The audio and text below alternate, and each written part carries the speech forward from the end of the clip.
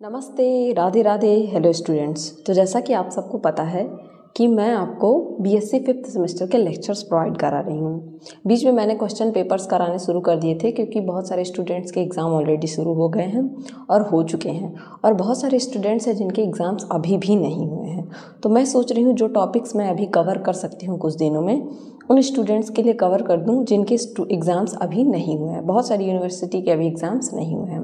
तो उसी सीरीज़ में हमने जो B S C fifth semester का आपका जूलॉजी का पेपर सेकेंड है chordate and their comparative anatomy आपको पढ़ना है। उसमें मैंने शुरू किया था इंटेगमेंट को पढ़ाना, ठीक है? हमने स्ट्रक्चर ऑफ़ इंटेगमेंट जिसमें डर्मिस और एपिडर्मिस के बारे में पढ़ना था। कि एपिडर्मिस किस तरीके से पाया जाता है डर्मिस किस तरीके से पाया जाता है, उसका स्ट्रक्चर क्या होता है, कहाँ पे वो प्रेजेंट होता है, ये सारी चीज़ें कवर कर दी थी, ठीक है? इस लेक्चर में हम कवर करने वाले हैं इंटेगमेंट का आपको फ़ंक्शन पढ़ना है, ठीक है? और डेरिवेटिव पढ़ना ठीक है? इसके आगे के लेक्चर में हम उसके डेरिवेटिव्स के बारे में जानेंगे। इस लेक्चर में हम फ़ंक्शन ऑफ़ इंटेगमेंट के बारे में जानेंगे। तो फ़ंक्शन ऑफ़ इंटेगमेंट की अगर बात की जाए तो यहाँ पे एक वर्ड लिखा गया है कि इसका फ़ंक्शन क्या कहा जाता है? इसको जैक ऑफ़ ऑल ट्रेड्स इसका मतलब समझ रहे हैं आप लाइट का एक अलग से वो बोर्ड यूज़ करते होंगे, जिसमें कई सारे बटन इस तरीके से रहते हैं, उसको जैक बोला जाता है, ठीक है? उसमें क्या कर सकते हैं? आप कई सारे, एक एक ही टाइम पे कई सारे जो है मोबाइल चार्जर या कुछ भी लगा सकते हैं, उसको कनेक्ट करके आप काम कर सकते हैं। उसी तरीके से इंटेगमेंट भी आपका क्या करता है, ये परफॉर्म करता है सेवरल इंपॉर्टेंट फ़ंक्शन कई सारे फ़ंक्शन क्या करता है आपके स्किन में, ये इंटेगमेंट या स्किन इसको कहा जाता है, वर्टिब्रेट में ट्रूली पाया जाता है और कई सारे फ़ंक्शन परफॉर्म करता है, जैसे प्रोटेक्शन और कई सारी चीज़ें। एक एक करके हम जानेंगे, ठीक है? सबसे पहला ही इसका फ़ंक्शन क्या है? प्रोटेक्शन देना। प्रोटेक्शन देना, आप सबको पता है कि इंटेगमेंट स्किन को ही, स्किन या इंटेगमेंट बोला जाता है। तो सबसे पहले हमारे बॉडी पे जो कवरिंग पाई जाती है, वो स्किन की ही पाई जाती है। तो आप सबको पता होगा कि स्किन कितना मेजर रोल प्ले करता है हमारे अंदर की जो नर्व्स पाई जा रही हैं आर्टरीज वेन्स सारी चीज़ें क्या पाई जाती हैं? स्किन के नीचे से ही शुरू होती हैं।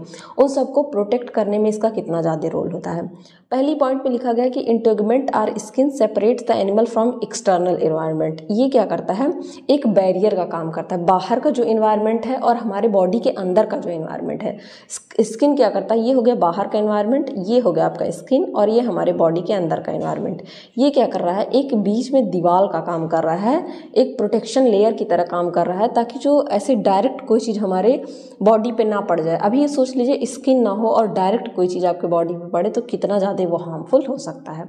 कितनी पतली पतली नर्व्स सारी चीज़ें स्किन के नीचे ही फ्लो होती हैं तो वो सारी चीज़ें डायरेक्टली इफ़ेक्ट होंगी, ठीक है? तो ये क्या करता है? इंटरनल इन्वायरमेंट को मेंटेन रखता है कॉन्स्टेंट रखने में। काम करता है, ठीक है? इस, ये क्या होते हैं सेवरल प्रोटेक्टिव डिवाइस होते हैं, जैसे कि it protects the body against variety of mechanical and chemical injury कोई भी आपको मैकेनिकल या चोट लगने से, जैसे आप गिर गए, आपको चोट लगी तो अगर वो चोट डायरेक्टली आपके नर्व से लग जाए, आपके वेंस पे लग जाए तो वो कितना ज़्यादा हार्मफुल हो सकता है। लेकिन स्किन होने की वजह से पहले वो आपकी स्किन पे लगता है। आप देखते हैं खरोच आ जाता है या कभी कभी डायरेक्ट ब्लड बहने लगता है या केमिकल इंजरी या आपके ऊपर कोई केमिकल डाला जा रहा है तो सोचिए अगर डायरेक्ट वो नर्व्स वगैरह पर चली जाए तो कितना इफ़ेक्ट करेंगी। स्किन भी क्या करती है? उसके लिए प्रोटेक्शन का काम करती है। प्रोटेक्टिव डेरिवेटिव पाए जाते हैं, जैसे कि स्केल पाया जाता है। डेरिवेटिव मतलब उसी चीज़ का, वो स्किन ही है, लेकिन वो दूसरे फॉर्म में पाया जा रहा है, ठीक है? है तो वो स्किन ही, लेकिन किसी दूसरे फॉर्म में पाया जाकर क्या कर रहा है? प्रोटेक्शन प्रोवाइड कर रहा है। जैसे स्केल्स पाए जाते हैं कई सारे एनिमल्स में बोनी प्लेट्स पाए जाते हैं फिशेज में, ठीक है? या ह्यूमंस में फैट का पाया जाना फैट भी कहीं कहीं कहीं पे हमारे देखिए जैसे लीवर जो होता है, ठीक है? उसके साइड साइड में क्या होती है? फैटी टिश्यूज़ पाए जाते हैं फैट पाया जाता है जो कि हमारे लीवर की इंजरी होने से बचाता है, ठीक है? फैदर का पाया जाना, जो बर्ड्स में फैदर पाए जा रहे हैं हेयर का पाया जाना, हमारे बॉडी पे ही जो हेयर पाया जाता है, कई सारी जगहों पे हेयर पाया जाता है जो प्रोटेक्शन का काम करता है। तो ये क्या करता है? रिड्यूस करता है, कम करता है फोर्स ऑफ़ इंजरी को एक्सेसिव बॉडी मॉइस्चर को लॉस होने से भी बचाता है, ठीक है? अगर एक्सेसिव बॉडी मॉइस्चर लॉस हो रहा है तो ये उससे भी प्रोटेक्ट करता है, ठीक है? और ये अलाउ करता है एंट्री का हार्मफुल बैक्टीरिया और फंजाई से, ठीक है? ये जो हार्मफुल बैक्टीरिया और फंजाई होते हैं, उनको भी हमारी बॉडी में क्या होता है? जाने नहीं देता है, ठीक है? तो इससे भी प्रोटेक्शन प्रोवाइड कर रहा है। प्लेज हो गया, जैसे फर हो गया प्ल्यूमेज जिसको कि फेदर कहते हैं ब्रिस्टल या स्पाइंस जो स्पाइंस पाए जाते हैं क्लॉज क्लॉज आपने देखा होगा कई सारे एनिमल्स पे नील्स नील्स जैसे हम लोग में पाए जाते हैं हुप्स हो गए एंटलर्स जो पाए जाते हैं सर पे हॉर्न हो गया, ठीक है? ये सब क्या करते हैं? ऑफेंस और डिफेंस मैकेनिज्म की तरह वर्क करते हैं, ठीक है? ऑफेंस एंड डिफेंस मैकेनिज्म का मतलब क्या है? कि कई सारे जानवरों में आप देखते हैं सींग जिसको कहते हैं, ठीक है? हॉर्न पाए जाते हैं हुप्स पाए जाते हैं। तो अगर उनको कोई प्रोटेक्शन मतलब किसी एनिमल से लड़ना है या कोई उनके ऊपर हमला कर रहा है तो अपने हॉर्न या हुप से क्या करते हैं? उनके ऊपर अटैक करते हैं। तो ऑफेंस मतलब बच बचने के लिए अपने और दूसरे को बचाने के लिए भी क्या करते हैं, ये हेल्प करते हैं। प्रोटेक्टिव कलरेशन कई सारे जिसको कि कैमाफ्लॉज कहते हैं। आप देखते हैं कि कई सारे अभी तो कीड़े ऐसे आने लगे हैं कि अगर आप उनको किसी पत्ते पे रख दीजिए तो वो उस पत्ते की तरह दिखने लगते हैं। तो इससे क्या होता है कि जो प्रीडेटर होगा, जो उनको खाने वाला एनिमल होगा, वो कन्फ्यूज़ हो जाएगा कि ये पत्ता है या एनिमल है। तो इस तरीके की कलरेशन कैमाफ्लॉज कलर कहते हैं, कई क्रिप्टिक कलरेशन कहते हैं, ये पाई जाती है, जो एनिमीज से क्या करती है प्रोटेक्शन दुश्मनों से रक्षा करती है। स्किन पिगमेंट क्या करते हैं ऑल्सो ये भी प्रोटेक्शन का काम करते हैं जब सोलर रेडिएशन यानी कि हमारी बॉडी पे अगर सोलर रेडिएशन पड़ रहा है सन की रेडिएशन पड़ रही है तो उसमें जो हमारी बॉडी में मिलेनिन पिगमेंट पाया जाता है, वो भी क्या करता है? हेल्प करता है प्रोटेक्शन प्रोवाइड करता है हमें, ठीक है? दूसरा हो गया आपका लोकोमोशन लोकोमोशन मतलब चलना, ठीक है? बाईपीडल लोकोमोशन हम लोगों में पाया जाता है मतलब हम लोग दो पैरों से चलते हैं तो इसे कहते हैं बाईपीडल लोकोमोशन तो लोकोमोशन में भी हेल्प करता है, ठीक है? जैसे कि dermal fin rays in the fishes and skin webs in the feet of rock जैसे कि जो फिशेज में डर्मल फिनरे पाई जाती हैं, वो उनके चलने में हेल्प करती हैं, ठीक है? स्किन वेब्स पाए जाते हैं आप देखेंगे अगर फ्रॉग जो होता है मेढक, उसके पैरों में क्या पाई जाती है? इस जाल लाइक स्ट्रक्चर पाया जाता है। स्किन वेब स्किन की ही जाल पाई जाती है, ठीक है? जो क्या करती है? फ्रॉग को चलने में हेल्प करती हैं। टर्टल्स एक्वेटिक बर्ड्स में भी ये पाई जाती हैं, जो इनको हेल्प करती हैं वाटर में स्विम करने के लिए, ठीक है? अदेसी पैड पाए जाते हैं एम्फीबियंस में, चिपकने वाले ऐसे पैड्स लाइक स्ट्रक्चर होते हैं तो ये क्या करते हैं? चिपक चिपक के चलते हैं। क्लॉज पाए जाते हैं एमनियॉट्स में और डिजिट पाए जाते हैं जो कि चलने में हेल्प करते हैं। थर्ड आपका हो गया डर्मल एंडोस्केलेटन। अगर डर्मल एंडोस्केलेटन की बात की जाए तो एंडोस्केलेटन कहाँ पाया जाता है? आपके हेड में पाया जाता है, ठीक है? सील करता है जो ब्रेन को सेंस ऑर्गन में, ठीक है? आपकी जो आँखें हैं, ठीक है? आपका जो ब्रेन है, वो क्या है? एक आउटर कवरिंग, एंडोस्केलेटन से क्या है? कवर है। सोच लीजिए, अगर आपका ब्रेन के ऊपर स्कल ना पाया जाता, डायरेक्ट आपका ब्रेन पाया जाता और आपको चोट लगती तो आपको कितनी ज़्यादा इंजरी हो जाती है, क्योंकि हमारा ब्रेन जो है, हमारी बॉडी के सबसे सेंसिटिव पार्ट्स में से एक होता है, ठीक है? और सोच लीजिए, अगर आपके ब्रेन पे चोट लग जाए, ठीक है? तो आपके लिए कितना हार्मफुल हो सकता है, ठीक है? तो इसी वजह से ये हमारे ब्रेन को भी क्या करती है प्रोटेक्ट करती है। स्किन जो है कंट्रीब्यूट करता है बोनी डर्मल आर्मर में। कई सारे एक्सटेंट ऑस्ट्रैकोडर्म के बारे में जब आपको मैंने शुरू में ही क्लासिफिकेशन पढ़ाया था तो वहाँ पे ऑस्ट्रैकोडर्म्स के बारे में पढ़ाया था और प्लेकोडर्म्स ये कई सारे पाए जाते हैं। लिविंग जो स्टर्जियंस हैं क्रोकोडाइल्स हैं टर्टल्स हैं, यहाँ पे क्या होते हैं?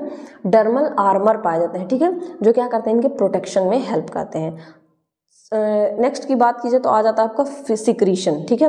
अब सिक्रीशन की बात की जाए तो कई सारे सिक्रीटरी ग्लैंड पाए जाते हैं। Skin secrete substance having several uses कई सारे ग्लैंड्स पाए जाते हैं जो सिक्रीशन करते हैं और जो हमारे क्या करता है बॉडी में हेल्प करता है। जैसे कि म्यूकस ग्लैंड पाया जाता है एक्वेटिक फॉर्म्स में, जैसे कि फ़िश में फ्रॉग में। ये क्या करता है, उनकी स्किन को मॉइस्ट मतलब मुलायम रखता है और स्लिपरी ताकि वो फिसल सकें छूट के जा सकें, उसमें हेल्प करता है। यूरोपाइजियल ग्लैंड बर्ड्स में पाए जाते हैं, जो कि क्या कहते हैं? ऑयल सिक्रीट करते हैं, जो फेदर के प्रीनिंग में, उनको सॉफ्ट रखने में, उनको उड़ने में हेल्प करने के लिए बहुत ज़्यादा क्या होता है? हेल्पफुल होता है। ऑयल फॉर्म पाए जाते हैं सिबेसियस ग्लैंड हम लोग की ह्यूमन में पाया जाता है। आपने ह्यूमन फिजियोलॉजी पढ़ी होगी तो वहाँ जब आपने ग्लैंड्स के बारे में पढ़ा होगा तो सिबेसियस ग्लैंड का नाम आपने ज़रूर पढ़ा होगा, और आपने हंड्रेड परसेंट आपने सेकेंड सेमेस्टर में फिजियोलॉजी तो पढ़ ही रखी है जूलॉजी में तो वहाँ पे तो आपने इसे पढ़ा ही होगा, ठीक है? तो मैमल्स को क्या करते हैं? लुब्रिकेट करते हैं, उनके स्किन को क्या करते हैं? चिप चिप मतलब प्रोटेक्शन प्रोवाइड करते हैं एक तरीके से हेयर्स में उनके पाए जाते हैं, ठीक है? मेमोरी ग्लैंड पाए जाते हैं जो कि मिल्क का फॉर्मेशन करते हैं। जब भी इस, एक न्यू बॉर्न बेबी जन्म लेता है, ठीक है? छोटा बच्चा जब जन्म लेता है तो हमेशा कहा जाता है कि माँ का दूध उसके लिए बहुत ज़्यादा क्या होता है? न्यूट्रिशियस होता है, ठीक है?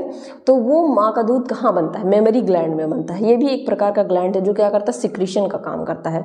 अडर्स पाए जाते हैं सेट ग्लैंड जो कि क्या कहते हैं? अपोजिट सेक्स को अट्रैक्ट करते हैं। कई सारे, जैसे आंट्स में आप चीटियों में देखेंगे कि एक चीटी के पीछे पीछे दूसरी चीटी चलती है तो वो क्या करते हैं?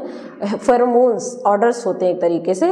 फेरोमोन्स का सिक्रीशन करते हैं। ऐसे टाइगर्स में आप देखेंगे, उनके एक्सक्रीट जो पाए जाते हैं, उसमें वो सिक्रीशन करते हैं, जिससे दूसरा टाइगर जान पाता है कि ये ये वाला कहाँ पे है। इस तरीके से क्या करते हैं, ये भी हेल्पफुल होते हैं। टीयर्स पाए जाते हैं लैक्रीमल ग्लैंड में। फॉर्म रहेगा ये, ठीक है? लैक्रीमल ग्लैंड में। ये क्या करते हैं जो मैमस का कंजाइटाइवा होता है आईबॉल का, उसको वॉश करने का काम, धुलने का काम करता है। तो इसलिए कभी कभी रो लेना चाहिए इंसान को। आपसे इससे क्या होगा कि आपकी जो कंजक्टाइवा है, वो धुल जाएगी, ठीक है? तो ज़रूरी नहीं है कि आप रोइए मत, रो लिया करिए कभी कभी खुशी के ही आँसू या दुख के, लेकिन रो लिया करिए। फ़ूड स्टोरेज की अगर बात की जाए तो थिक फैटी लेयर पाए जाते हैं blubber under skin of seals whales में, जो कि क्या करते हैं? इंसुलेशन का काम करते हैं as well as reserve food के फॉर्म में रहते हैं। जो सील्स होती हैं वेल्स होती हैं, उनकी जो ब्लबर होती हैं फैटी लेयर पाई जाती है उनकी स्किन में, ठीक है?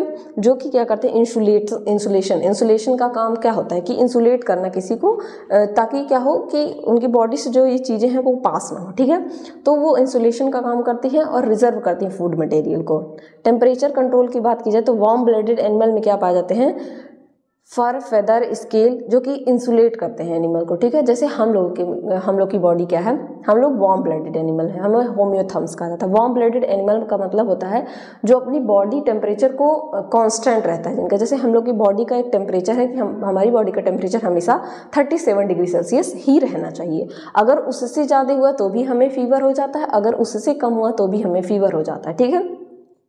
तो उससे बचने के लिए हमारी बॉडी पे क्या पाए जाते हैं? हेयर्स पाए जाते हैं। बर्ड्स की बर्ड जैसे मान लीजिए हम लोग तो कपड़े ठंडी आ गई ठीक है? पर फिर भी हम लोग की बॉडी का टेम्परेचर क्या है? थर्टी सेवन डिग्री सेल्सियस और ठंडी जो है, उसका टेम्परेचर क्या है? बहुत कम है, ठीक है? हम लोग क्या करते हैं, उसको सहन नहीं कर पाते हैं। तो हम लोग उसके लिए क्या पहनते हैं? कपड़े पहनते हैं, ठीक है? कपड़े। लेकिन जो एनिमल्स हैं, जो कपड़े नहीं पहन सकते हैं तो नेचर ने उनको क्या प्रोवाइड किया? उनको प्रोटेक्टिव लेयर्स प्रोवाइड किए जैसे फर्स पाया जाना फिदर का पाया जाना, जैसे बर्ड्स भी होम्योथम्स हैं, ठीक है? बर्ड्स और मैमल यही दो क्या है? होम्योथम्स हैं, यानी कि इनकी बॉडी का टेम्परेचर कॉन्स्टेंट रहता है मीन्स चेंजेबल नहीं है। और बाकी जो एनिमल है जैसे एम्फीबियंस हो गए फिशेस हो गए रेप्टाइल्स हो गए तो ये क्या कर लेते हैं कि जैसा टेम्परेचर आया, ठीक है, मान लीजिए ठंडी का मौसम आया तो अपनी बॉडी का टेम्परेचर भी कम कर लेते हैं। गर्मी का मौसम आया तो अपनी बॉडी का टेम्परेचर उस हिसाब से एडजस्ट कर लेते हैं, लेकिन हम लोग एडजस्ट नहीं कर सकते अपनी बॉडी के टेम्परेचर को।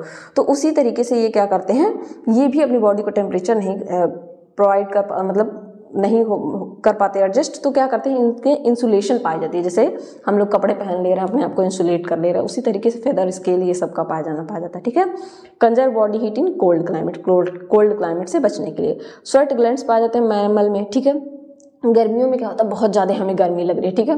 कपड़े ठीक है, आपने कम पहने हैं, फिर भी आपको बहुत ज़्यादा गर्मी लगती है। तो उस समय क्या होता है कि जब समर में जो गर, ठंडी होती है सॉरी गर्मी होती है, उसमें क्या निकलता है, पसीना निकलता है हमें, ठीक है? जिसको कि हम क्या कहते हैं स्वेट ग्लैंड स्वेट्स का निकलना, पसीने का निकलना, ठीक है? तो आप देखते हैं, जब पसीना एक बार निकल जाता है, उसके बाद अगर ठंडी ठंडी हवा चले कुछ भी आप फ़ैन चला रहे हैं तो हमारी बॉडी क्या होती है, एकदम ठंडी हो जाती है कूल हो जाती है। तो ये भी क्या करते हैं, हमारे टेम्परेचर को कंट्रोल करते हैं, ठीक है? Last but not least excretion excretion क्या होता है?